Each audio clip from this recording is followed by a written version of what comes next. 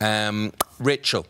Rachel, now there's photos here. I'm going to show you a couple of photographs. Uh, this is George and Harry that we're going to show you. And, and the reason we're, we're, talking to you about George and Harry Scott is that uh, they're two British bulldogs and uh, they want to They play like outside. They always Yeah. want to go outside, but it's hot. It's very, Yeah. very hot outside at the minute, and they struggle in the heat. And uh, apparently, George, which is the oldest dog, has suffered from heat stroke. Um, so, what should you be on the lookout there? Yeah, so vets up and down the country are really cringing at the moment with the rise in a flat faced breed of dog. Um, about 10 years ago, the French Bulldog wasn't even in the top 10 um, most popular breeds, and now they're up there, number one, alongside Labradors.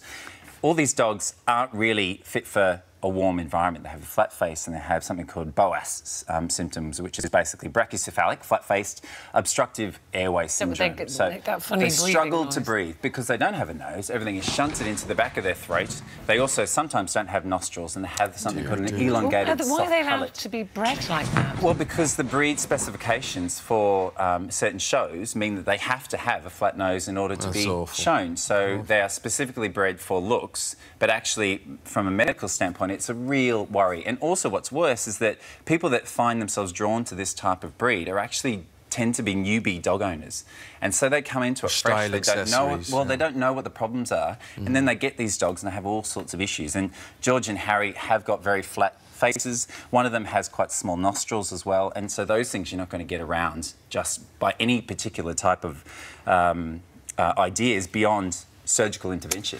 Um, But what I would say with them is they're getting heat stroke, so of course try and cool them down as much as you can, lots of fresh water, and at the same time walk in the dawn and the dusk. Our Maggie loves the hose, doesn't she?